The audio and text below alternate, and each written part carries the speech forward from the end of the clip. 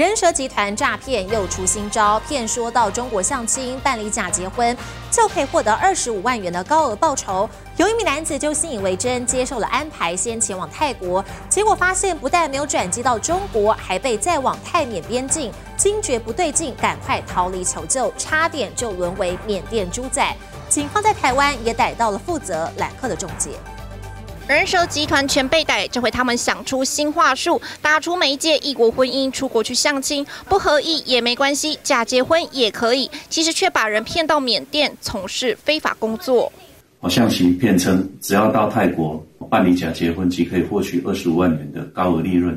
人蛇集团很神秘，嫌犯接到代号叫伦的男子指示，只要成功骗艺人到泰国，就可以获得二十五万元报酬。他找了以前合作过的三个朋友一起揽客，果然有人掉入陷阱，声称到泰国再转机到中国去相亲，就可以让他们来台工作。如果不中意，也可以一兼二顾，改当人头丈夫，同样有赚头，拿十五万到手。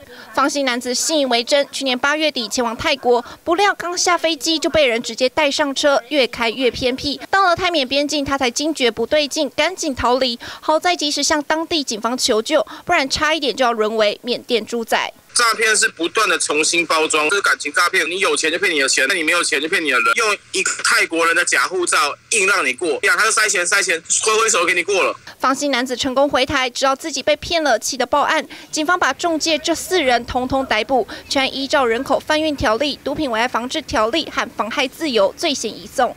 人蛇集团诈骗手法一换再换，民众如果看到高薪高报酬、出国等话术，一定要小心再小心，以免误上贼船。